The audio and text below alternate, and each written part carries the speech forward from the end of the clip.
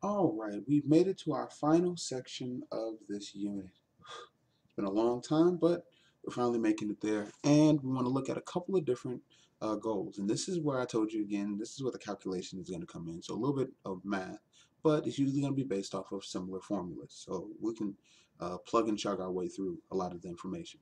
So 4.07, I can calculate the amount of energy, heat transferred, sorry, heat capacity, the heat capacity of a substance the energy associated with phase changes, and the delta H of a reaction. A lot of stuff, but don't worry, we're going to work our way through it piece by piece. And 4.08, I can interpret diagrams and calculate the amount of energy transferred in an isolated system. That's going to actually bring in the idea of calorimetry and how we're going to use calorimetry um, in this class and through the lab that we'll have um, after the break. But let's go ahead and get started. Now, we talked about state functions before, and remember we said state functions are not so much concerned with how, but the fact that energy or something is used. The internal energy for a system is going to be a state function. Now, next we're going to move into this word enthalpy, enthalpy, sorry. I'm going to make sure I, I stress the enthalpy because we're going to talk about later in the year entropy, which is very similar but very different. So, enthalpy are usually represented by capital H is the heat transferred between system and surroundings under constant pressure. So if we think about this, if I have a beaker on the table, atmospheric pressure is being applied. Therefore, we're going to end up with what's called constant pressure. Now, enthalpy is also going to be a state function. And as we talked about before, when delta H is positive, we're going to have endothermic reaction. So we see a relationship, sorry, between Q and delta H which is our heat. And also, we have here delta H is negative, it's going to be exothermic, just like we had with Q. So we can start to predict some of the um, some of the um, interactions and some of the energy relationships based on these values. Now, enthalpies of a reaction. Again, we can only measure the change in enthalpy. We cannot say I know the exact um, absolute enthalpy. So how we do that is delta H, the change in enthalpy, is equal to the final energy or enthalpy minus the initial, what energy did I have at the end, and subtract what I started off with. For a reaction, this looks like this. The delta H for the reaction is going to be equal to the enthalpy of the products minus those of the reactants. Because again, these are our starting point, and this is our finishing point, our final. Now, the enthalpy, the enthalpy change that accompanies a reaction is going to be called the enthalpy of the reaction or the heat of the reaction, usually seen by delta H with this Rxn at the bottom for reaction. So let's look at um, the example we have here. So for two moles of hydrogen plus one mole of oxygen, this is going to form two moles of, or two molecules of water. Now, for this overall reaction, we're going to see that the delta H of the reaction is negative 483.6 kilojoules. This tells us that 483.6 kilojoules of energy are going to be released to the surroundings when we form water. So the reaction would feel like it gives off heat. Now, you want to be very, very careful when you read questions like for the AP exam because it may ask, ask a simple thing like, how many joules of energy are released? I know this is a little ahead of the game, but if it asks how many joules of energy are released, is it necessary to write the negative sign? No, because if it already tells you that it's released, it's it's already accounted for the fact that the energy is going to, or the sign would normally be negative. And so you'll just need to write in the 483.6. But if it asks what's the change in energy, then you would have to make sure to put the negative sign there. Again, we'll talk about that a little bit later. Now, when we look at equations like this, that include our energy transfer, we're going to call these thermochemical equations. And yes, it is important when we deal with the states of them. That's why we have the gas, gaseous state for each of them. If they were going from liquid to a gas and then from a gas into the overall reaction, we'd have more energy transferred between the system and surroundings. So we want to make sure we pay very, very close attention to those things. Now, enthalpy is what we call an extensive property, which means it's going to depend on the amount of the reactant that you actually start with. Um, things like density um, things like uh, color, um, those are going to be intensive properties. Doesn't matter how much you have, she's going to have the same value. But if we're dealing with extensive properties, like we're dealing with here for the balanced equation, if I change the moles of my reaction from methane, the combustion of methane, you notice that I also double my energy output. So I went from producing 802 kilojoules of energy because I increased uh, my relationship of my values, I end up producing now 1600 or 1604 kilojoules. Now, if you reverse the reaction, you reverse the sign of delta H. So instead, if I'm going from, instead of the combustion of methane, the formation of methane and oxygen by combining carbon dioxide and water, I actually now have a positive 802 kilojoules, or if I doubled it again, positive um, 1,604 kilojoules from that. Now, this is where I said it depends on the state. This is where the state part comes in. Still the same old reaction, but you notice now instead of a gaseous form, I'm bringing in the liquid form of water. This is going to change how much energy I actually lose in the combustion. And it actually loses more energy because some has to go off of those molecules that were before moving about is actually going to um, decrease a little bit more. So as you see here, for two moles of liquid water to turn into a gas, I'm going to have positive 88 kilojoules. So meaning going the opposite way, I'm going to lose, um, if I have to go from gas to a liquid, I'm going to lose that 88 kilojoules of energy. Now, calorimeters. Calorimeters are going to actually measure the heat flow. And I wish it was nice for us to be able to say it does all the calculations for us, but we get a chance to look at what happens in the system and without having to worry about energy being left um, and thrown out to too many of the surroundings. It's going to give us what we call an isolated system. An open system, meaning the energy can just flow wherever it wants, or an isolated system here, what we're dealing with, where everything is confined and we try to limit or cut off completely the energy being transferred outside. Now, when we do this, this also gives us a constant pressure. So this will be a simplified one like what we might use in, in our class. Two styrofoam cups given a stronger insulation, cork stopper, or even sometimes piece of cardboard, stir rod, and a thermometer so we can actually measure the change in temperature. or more sophisticated, which we, what we call a bomb calorimeter um, where the reaction will take place inside a little holding cup. The rest will be filled with water. And we measure the energy transferred to the water, the change in temperature for the water. Now, to measure heat, or Q, we have uh, Q, sorry, we have a couple of things that we have to look at. We have to look at what's called heat capacity. That's the amount of energy required to raise the temperature of an object one degree. So if I have a block of iron and I want to find out the heat capacity, I'm going to look at the amount of energy it takes to take the whole block one degree Celsius higher. Molar heat capacity, oops, sorry, I got to go back. Molar heat capacity is the heat capacity of one mole of the substance. So it's going to be a little bit uh, more uh, specified where heat capacity is just looking at overall however large the material is. Molar heat capacity is if I have one mole of that substance. So I need to know approximately what the mass of one mole of that would be to raise that um that substance, that amount of that substance one degree Celsius. Now, the ones that most people tend to uh, have confusion with is you notice this is a capital C and we have specific heat, which is a lowercase c. And yes, that is important. This is going to be the amount of energy that's needed, or amount of heat that's needed, sorry, to raise the temperature of one gram of the substance, one degree Celsius. So again, heat capacity, large block, molar heat capacity, one mole, specific heat, one gram. So it gets a little bit more specific as we go down. Now, most of the time we're going to deal with specific heat because it's a little bit easier um, for us to notice or to work with.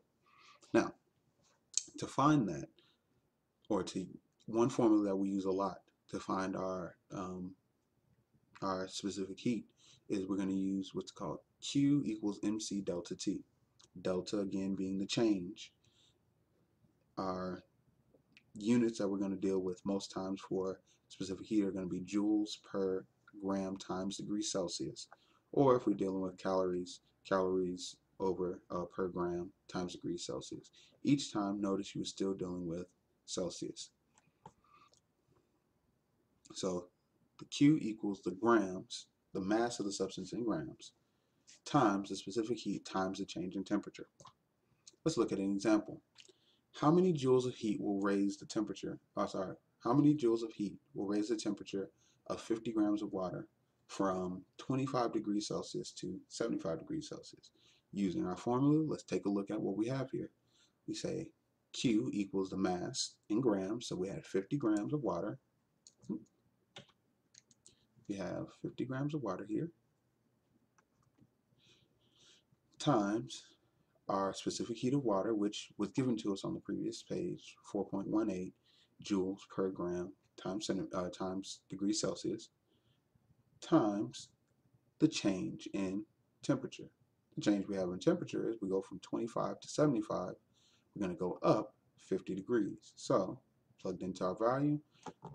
In order for this to happen, we release, or sorry, we actually have transferred or put into the system 10,450 joules of energy.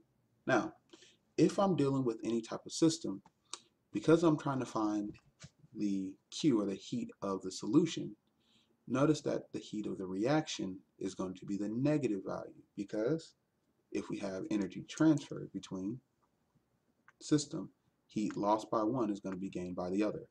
So if the heat or energy is lost by the solution, that means it's going to be gained in the overall reaction and vice versa. Now, what is the heat molar heat capacity sorry, for water? Well, we actually get a chance to go down a little bit in information. We have capital C equals the specific heat times the molar mass. That's what this capital M. It's not molarity in this case. It's actually for molar mass. So we have our specific heat, 4.18 joules per gram times centimeters, times the molar mass, which is approximately 18 grams per mole, and this gives us 75.2 joules per mole times centimeter. Most times we won't be finding the, the molar heat capacity, but we do want to keep this formula in mind because it will come into play a little bit later. Now, for our overall reaction, what happens if it's not carried out in one step as we would normally think, but actually takes a couple steps in order to do to to uh, get the final information for our reaction? Then we get to apply what's called Hess's law. Hess's law basically says if a reaction is carried out in a series of steps, the delta H for the reaction is the sum of all those steps. So it's independent of the number of steps and it's just based on the amount of energy in each of those steps. So let's take a look at what we have here. The formation of, we're still looking at the combustion of methane, that's what you have here. And we found out earlier that the delta H for that reaction is negative 802 kilojoules. But we have to take into account that we said we want to pay attention to what's happening here. We don't actually have gaseous water, we actually have liquid water. So how much energy is lost when we go from gas to liquid? Well, we lose 88 kilojoules. So now we have to add all that into our value. So eight, the negative 802 minus 88, degree, uh, 88 kilojoules gives us negative 890 kilojoules. This gives us a way to calculate the energy for many steps that are kind of difficult. So we can't, so we don't have to necessarily worry about, well, here we had uh, gas, now we have liquid. Well, how do we know what's going on? Now, for these types of questions also, you'll usually have a table that you can refer back to. So don't think you have to memorize these values. There'll be a table or it'll be somehow given to you in the question so you can actually answer. Now, this is going to take us many times to look at what we call the enthalpy of formation or the heat of formation that's going to be drawn in there. And you see this as delta H with the subscript F. Now, for what we're looking at here, for the formation of carbon dioxide, you notice carbon plus oxygen is going to yield carbon dioxide gas, and the heat of formation will be negative 393.5 kilojoules, meaning that much energy was released when we form this compound. This is how we'll actually start to look at what we had on our previous slide for our water. Okay. Now, this is usually going to be based on the standard conditions or standard state, which is one atmosphere and two, uh, 25 degrees Celsius or 298 degrees Kelvin. Now, standard enthalpy, still delta H, but you notice now we have this little, almost looks like a degree symbol there. Whenever you see that, it just means that it's going to be standard. It's going to be measured when everything is in its standard state at, at these conditions. And standard enthalpy of formation, same type of situation, except now we're looking at one mole of the compound with all of their substances at the standard states at this one atmosphere and 25 degrees Celsius. Now, there's more than one state for the substance under standard conditions. The more stable one is actually going to be used. What do I mean? Dealing with carbon, we tend to use graphite because graphite is more stable than diamond. So by definition, the standard enthalpy of formation for a stable um, form of an element is zero. Why is this? Because it actually requires no energy in order to form it. So you'll see this when we deal with, say, carbon graphite here, when we deal with our diatomics as we're dealing with here, oxygen gas, or bromine, which normally in its standard state is a liquid. All of those will equal out to zero. No energy has to be expended to make them. Now, using that information, we can actually find the delta H for the reaction by just following a simple pattern. Our delta H for the reaction, standard delta H for the reaction is equal to the sum of the moles of the substance, sorry, the standard formation for the products, minus the sum of the moles of the product, uh, sorry, the reactants with their delta H values, standard heat of formation values. These are going to be taken, these M and the N, uh, N and M are going to be taken from the balanced equation. So let's go ahead and do practice. So we're still using Hess's law, so don't think we've cast it to the side. Use Hess's law to calculate the delta H for the reaction and gives it to you right there. We have propane, it's already balanced out the combustion of propane. So we need to look at and see, okay, the products that we form. We get three moles of carbon dioxide and four moles of water from the elements. Let's take a look at it and see how we'll actually form this. So three moles of carbon times uh, plus three moles of oxygen are going to produce three moles of carbon dioxide. So we tripled what we originally had. Same thing for our water. Four moles of hydrogen plus two moles of uh, oxygen going to form four moles of water in liquid form. Quadruple it. Now, have to do the same thing for the reactant. Now, if you notice, sorry, when we note this a little bit earlier, that oxygen itself has no enthalpy of formation because it's in its elemental state, it's in its diatomic state. So we only have to focus on the formation of methane, which is going to be 3 moles of carbon, the 4 moles of hydrogen, give us C3H8 gas. Now, let's actually pull in the values, and they're actually given to you in the textbook. I don't think it's uh, page 177. I'll adjust that for you. But I'm going to use our formula to figure this out. So the delta H for the reaction, we have our three moles, our three we took from our products for our carbon dioxide, which is negative 393.5 kilojoules, plus four moles, four times, negative 285.8 kilojoules. We're going to go ahead and add this value up and get our final here, minus what we have for our reactants which is just for the, the production of methane, which is negative 103.85 kilojoules. After going through, adding it all up, we come out with negative 200, 2000, sorry, 220 kilojoules is the net energy for the reaction. Because we see the negative sign, that means it's going to be released, which means this overall process is exothermic. So this is one way that we can actually go about finding the delta H for the reaction just using the information given to us in the table as well as um, using the overall reaction and its states. Now, heat of fusion and heat of vaporization are not something you hear often, well, not something we use a whole lot often, but just keep in mind what's going to happen. Heat molar heat of fusion, the amount of energy required for one mole, and you see that molar in front, one mole of a solid to a liquid state, to be transferred to a liquid state. So, from solid water to liquid, makes perfect sense, is where it's going to fuse, quote unquote, together. Now, it's usually going to be greater for ionic substances than molecular or covalent compounds because the ionic substances are actually going to be held together a lot closer. Now, molar heat of vaporization, the fusion is where it's coming from solid to a liquid state. Vaporization is where it's going from a liquid to a gaseous state. Notice that. Still dealing with one mole to go from liquid to gas. And we have water to steam, quote unquote, 40.67 kilojoules per mole. We're going to use these as conversion factors, so just keep them in mind overall. This is where we're actually going to end it for the night, um, and make sure you go and do your practice. Have bring any questions you have, and we'll uh, make sure we can get them answered for you. Have a good evening, and look forward to seeing you in class.